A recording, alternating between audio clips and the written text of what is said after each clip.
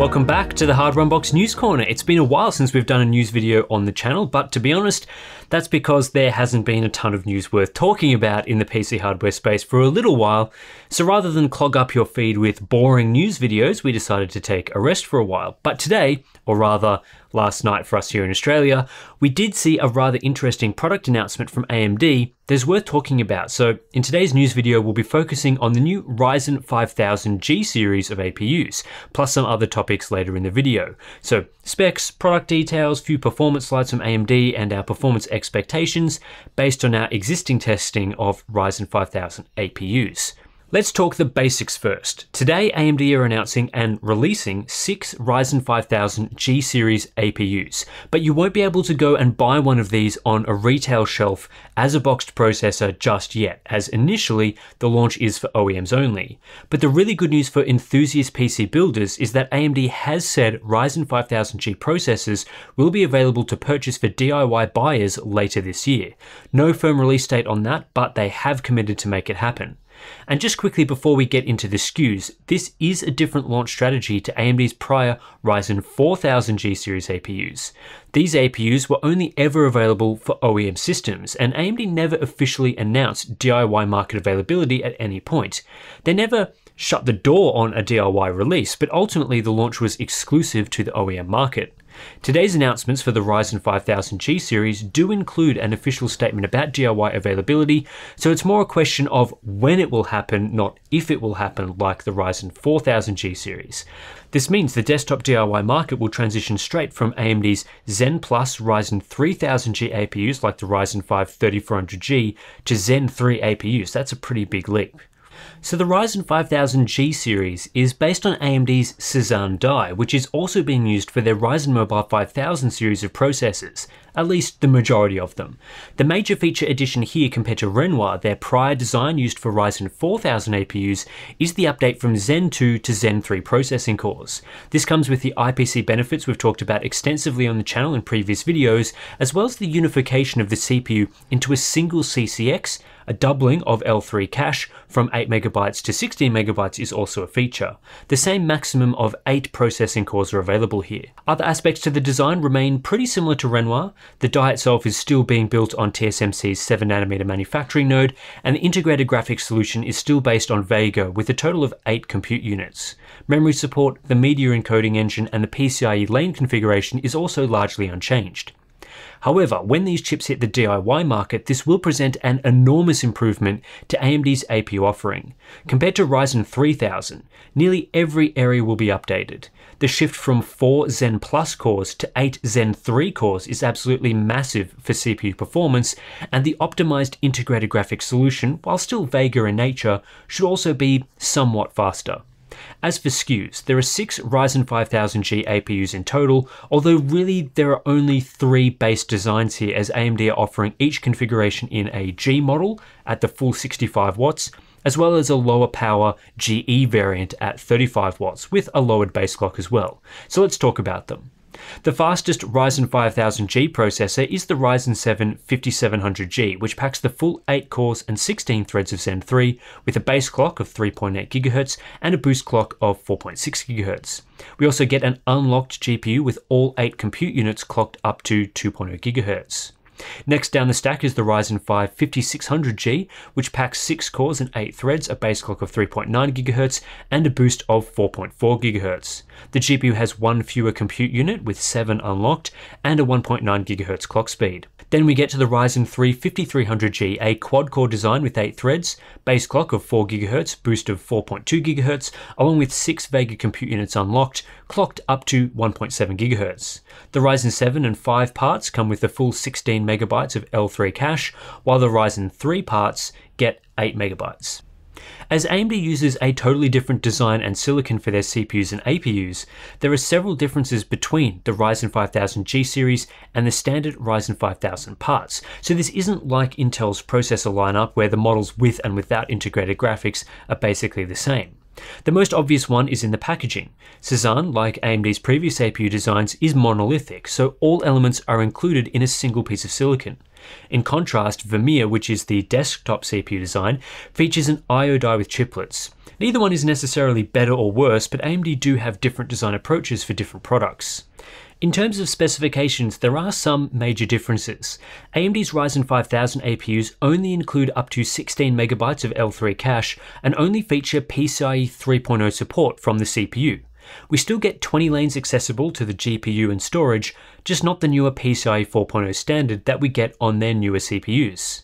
As for cache, 16 megabytes is an increase on their previous APU offerings, and the unified CCX design is a huge improvement as well, but the desktop lineup offers double that cache again with 32 megabytes in up to the 8 core models. Naturally, the desktop line also includes 12 and 16 core models, which isn't possible with AMD's APUs. Aside from that, there are also some minor clock speed differences.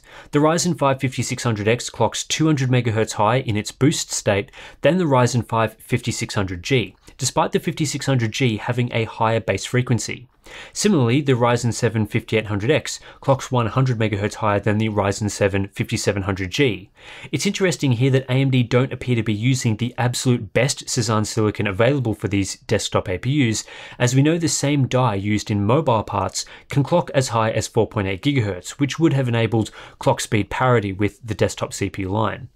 Of course, as these are OEM parts, we don't have any idea on pricing. We'll have to wait until the DIY launch later in the year, but there will be an interesting choice for buyers to make between a Ryzen CPU or APU.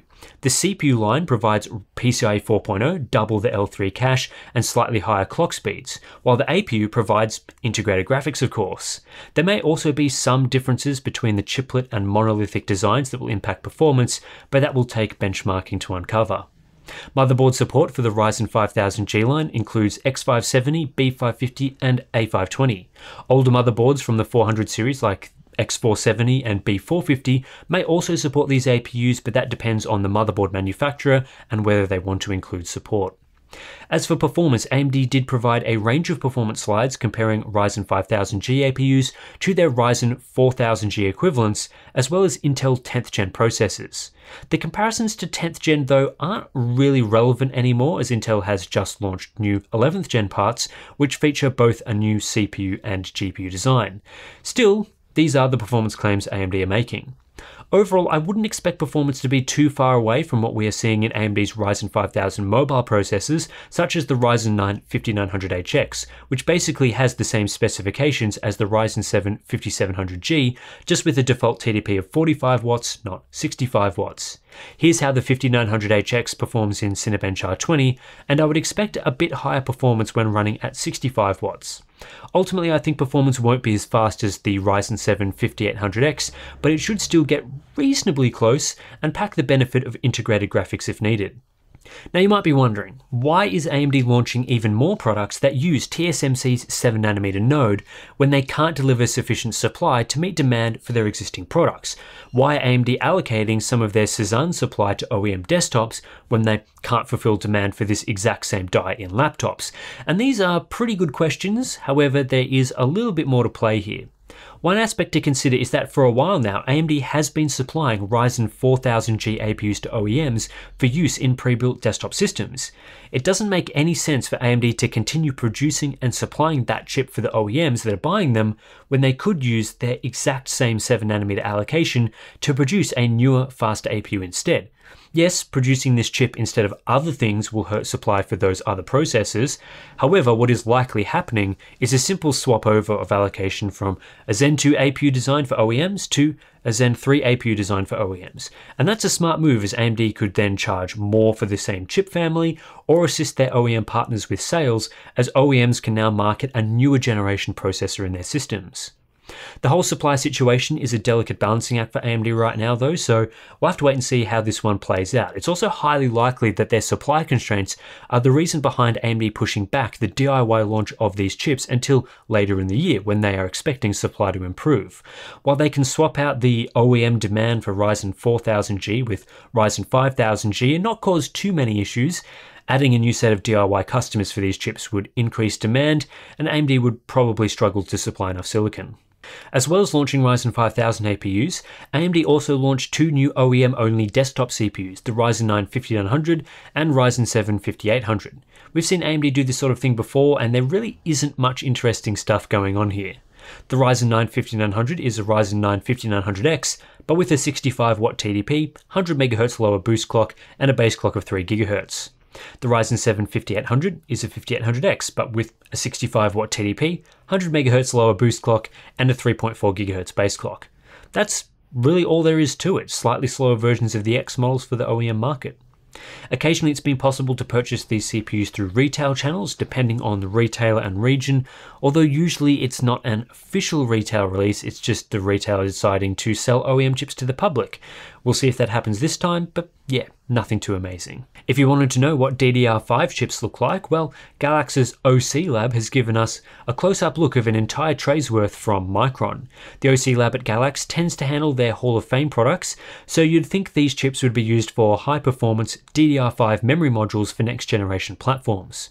Rumours currently suggest that Intel's upcoming Alder Lake design will use DDR5, as will AMD when they transition to a new AM5 socket along with next-generation processors. An image of the chips isn't particularly interesting, but if you were ever curious how DRAM chips get packaged and sent to companies assembling them into actual sticks, well, here you go. It also shows solid progress towards DDR5, which we've been expecting for some time now. AMD is warning customers in China of a potential Radeon RX 580 recall scam. According to official statements released by AMD and XFX on their respective social media pages and translated by Tom's Hardware, the scam involved sending RX 580 owners a notice that the card was being recalled due to a manufacturing defect. The scammers would then attempt to exchange the RX 580 with the victim for an inferior NVIDIA GeForce GTX 1650 Ti or GTX 1060 3GB, claiming those GPUs offer better performance, which isn't true. Alternatively, the victim could accept a cash refund. AMD says that the RX 580 is not being recalled after four years on the market and doesn't have any manufacturing defects. AMD will be pursuing legal action against the alleged scammers for illegal use of their branding. The idea behind this scam appears to be to collect graphics cards for mining. The Radeon RX 580 in either its 4GB or 8GB configurations is a much better GPU for mining than either the GTX 1050 Ti or GTX 1060 3GB, in addition to just being faster overall for gaming. So the scammers seem to be buying these inferior, cheaper, and likely more available GPUs and attempting to swindle legitimate RX 580 owners out of their cards, effectively swapping a bad mining GPU for a decent one. It's clever, but running this sort of alleged operation is clearly illegal and scummy. It also shows the links that some dodgy people are willing to go to make a quick buck from mining or flipping GPUs. Without a steady stream of GPUs coming into retail markets, the next best option appears to be just trying to hurt legitimate buyers even further with scams. So yeah, that's just wonderful, isn't it? TFT Central have provided an update to what to expect from Samsung's upcoming Odyssey G9 monitor refresh. They've spotted a product page on Chinese retailer Taobao that shows the Odyssey G9 S49AG95NC, which keeps many of the original's features like a 5120x1440 resolution, 240Hz refresh rate, VA technology, and 1000R curvature. What this new model will be receiving though is a full update to properly support HDR. According to the product page, the new G9 will use a quantum matrix mini LED backlight with 2048 local dimming zones, which should provide great HDR performance on an LCD panel.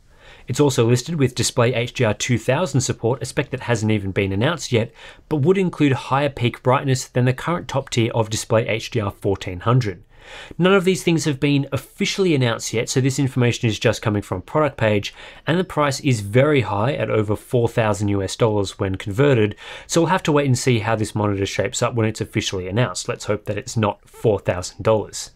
Anyway, that's it for this week's News Corner. If you're interested in getting more of our news analysis whenever interesting stuff pops up to talk about, then you can subscribe to the channel, give this video a like if you enjoyed it, and consider supporting us through our Patreon and Floatplane accounts. Links to those are in the description below. Anyway, thanks for watching, and I'll catch you in the next one.